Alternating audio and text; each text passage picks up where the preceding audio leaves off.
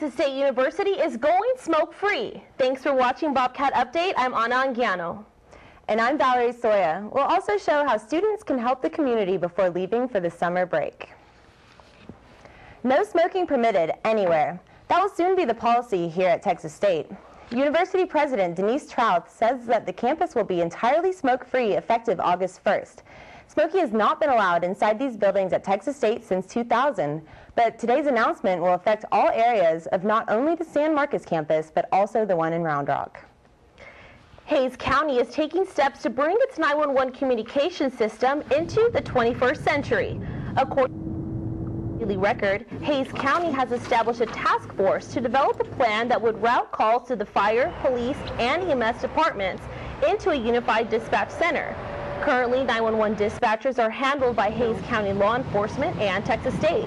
If a unified 911 center is set up, all calls involving Hays County municipalities would be handled at that center. The University Police Department has a message for all those who bike to school. Register your bike or have it impounded. UPD's Crime Prevention Unit is launching its annual Bicycle Roundup May 23rd. All unregistered bikes that are attached to railings or left in the bicycle racks will be removed and impounded for 120 days. Bicycles claimed will be registered with the department and released to their owners. Those left unclaimed will be recycled. You can register your bicycle online for free or just contact UPD Crime Prevention. The spring semester will soon be over, and for many Texas State students, it's time to move. If you're relocating at the end of the semester, you might consider participating in Texas State's 10th annual Pack It Up and Pass It On donation program. Lynn McCann tells us how you can get involved. In the past, dumpsters would overflow at this time of year as students moved out of their dorms or apartments for the summer massive amounts of household items would be left behind because they were no longer wanted or needed. Nowadays, the Pack It Up and Pass It On program offers an alternative. Pack It Up and Pass It On really puts the reuse into recycling. It's true recycling. It's getting items that students no longer want for whatever reason and getting into, into the hands of needy San Marcos residents. Last year, more than seven tons of donated items were made available to needy families in the San Marcos area area. Originally, the donation program was organized under a single tent at Aquarena Springs. Now, it takes over the entire ballroom at the LBJ Student Center. Eventually, all donated items will be moved here to the ballroom. Volunteers will sort and organize the donations into a garage sale style setup in preparation for the big distribution day. However, Pack It Up and Pass It On could never happen without its volunteers. Volunteering for the program is not only an opportunity to earn service hours, it's also a great way to give back to the community. We have a really pretty big group on Facebook, and so hopefully we can use that to recruit volunteers and get the word out even more. You know, have people spread word of mouth like, hey, you have something to donate? Bales for donations will be located at every dorm and campus-owned apartment complex. There are also plans to have barrels placed at off-campus complexes as well. We get a lot of printers, alarm clocks, uh, we get refrigerators, we've gotten a washer and dryer, all kinds of items that these families desperately need. You can visit the Community Relations website for more information on volunteering and for a list of desired items. Donations from dorms will be accepted until May 16th, while donations from apartments will be accepted until August. For Bobcat Update, I'm Lynn McCann. The First United Methodist Church in San Marcos is showing some wear and tear. The building has been part of the city landscape since 1893. The structure needs some repairs, and recently the church received a $60,000 grant to repaint the church exterior and to redo the floors.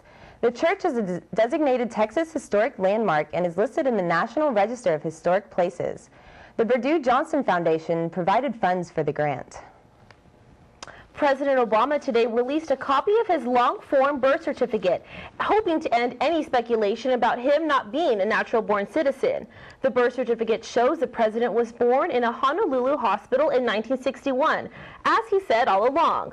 The president defended his decision to release a birth certificate, saying it was time to end all silliness over the issue. Potential presidential candidate Donald Trump took credit today for the release of the birth certificate, but said he still has to confirm that it is real. Republican Congressman Ron Paul is considering another bid for the White House. Yesterday, he announced that he has launched a presidential exploratory committee. Paul has served 12 terms in Congress. Paul's son, Republican Kentucky Senator Rand Paul, was rumored to be a potential GOP nominee, but the freshman senator said he plans to fully support his father. Former President George W. Bush is on a mountain bike ride to honor wounded veterans. He kicked off the Warrior 100 ride yesterday at Big Bend National Park in Texas. The former president is biking 100 kilometers, or about 62 miles, with 14 servicemen and women who were injured in Iraq or Afghanistan.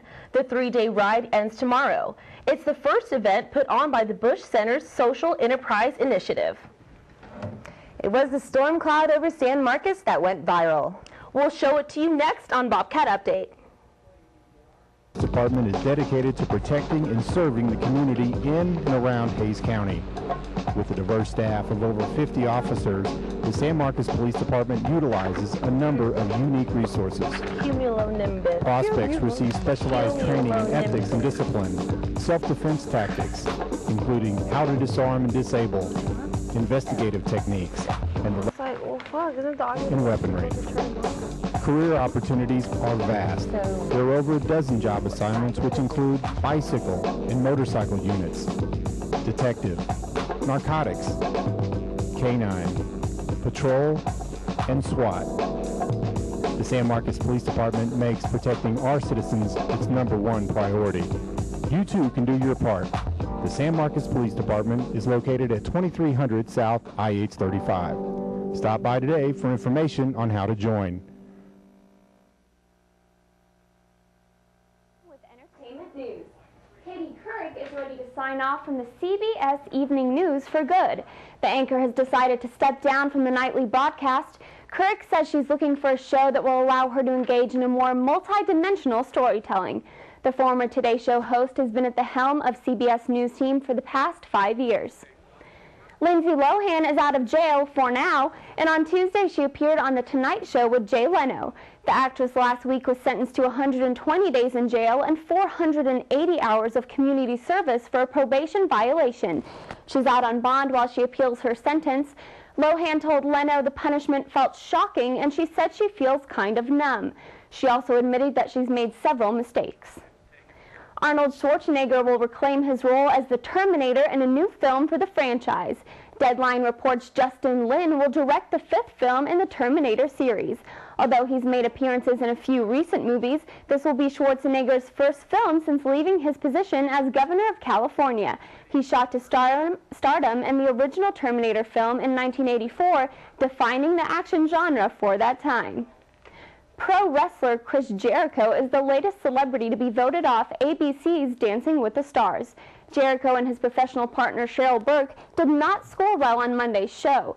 They danced the tango to Journey's Don't Stop Believin' and scored a mere 22 points out of a possible 30, placing them at the bottom of the leaderboard.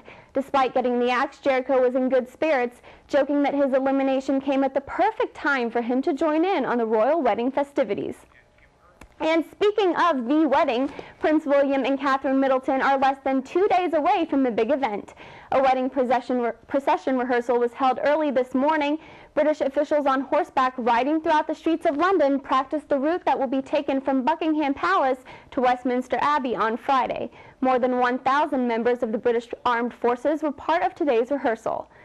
NBC's new singing competition show The Voice is a hit.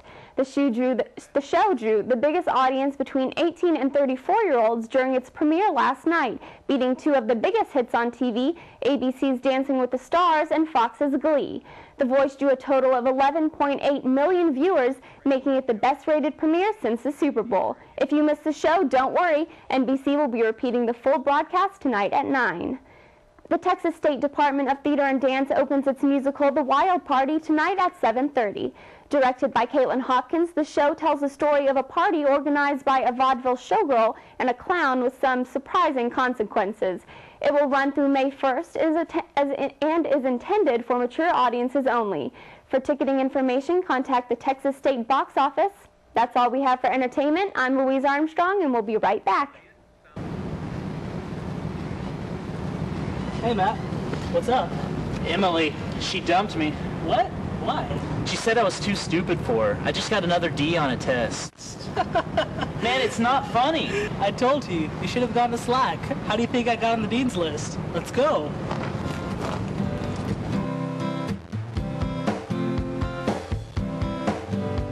Student Learning Assistance Center is on the fourth floor of the library. SLAC specializes in helping students with math, science, and test preparation. SLAC also offers an online writing lab where you can get feedback on your papers. No appointments are needed and you can get one-on-one tutoring or group study sessions. So stop slacking and go to SLAC. Oh, hey, Emily. Hey, hon, I heard you got to be on your test today. Yeah, I did. For more information, including the lab hours, visit their website at txstate.edu slash slack. Sony says a hacker took down the company's PlayStation game network last week, exposing the personal information of some 70 million subscribers in the process. The company says it can't rule out the possibility that credit card information could have been accessed. Sony says the hacker may have taken credit card numbers, card expiration dates, billing addresses, and answers to security questions, but not credit card security codes. The network lets customers download video games from the web and play against each other online. Parts of North Texas are cleaning up after two days of severe weather. There may have been as many as 14 tornadoes that touched down around the Dallas area this week, and there may have been another four or five in the Waco area. Luckily, only one person was hurt in the storms. Authorities are using helicopters today to get a better look at all the damage. They should have an estimate available later today. The weather has been far less dramatic right here in San Marcos, and of course we'd love to see a sign of rain out there to end the drought. Late yesterday, the skies produced a sign of sorts, but those who saw it weren't quite sure what to make of it. Could it be an alien spaceship? Perhaps a mushroom cloud? It was eerie, but meteorologists called it a cumulonimbus cloud. Lots of folks, in San Marcos took pictures, and some of those pictures were posted on Facebook. In fact, a Facebook page was created just to show them. And within just a couple of hours, it had 1,500 fans. Um, I saw that there's a Facebook group for San Marcos. It was called the Cloud That Brought in Zeus. Oh my! well, that cloud was so big, I'd be a little scared if I saw that last night. Mm-hmm. All right, well, this week marks the final editions of Bobcat Update for the semester. Thanks for watching. We'll be right back here tomorrow with our final show before the summer break. See you then.